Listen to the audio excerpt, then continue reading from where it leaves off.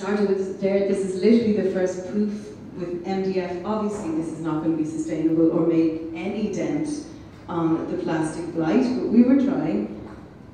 And this is us. I said to Alexis, if we can make a poof, we can make a table, let's make a couch. He was, at this stage, he was just so tired and sick of me, but he kept going, he kept going. And we then got ourselves a workshop and we started giving tours to government and non-government schools about what you can do with plastic in collection. We built a cob house, we built a wall, we had a, a, an entire walkthrough tour, we even had, we, we made out of plastic a collection bike which the kids got to go on and take pictures and put up on their social media.